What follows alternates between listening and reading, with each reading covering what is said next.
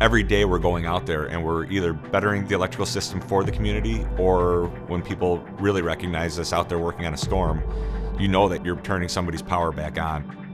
Some of the people you serve with for 5, 10, 15, 20 years, you get into a storm situation where you're working 17 hour days. You go home, you shower, you go to bed, you wake up three hours later, you shower, you go to work, and you might not have even seen or kissed your family members during that time. We're doing everything we can to get you back into power because when we get you back in, we get our husbands, our wives, our, our parents, our family members, and friends back into power as well.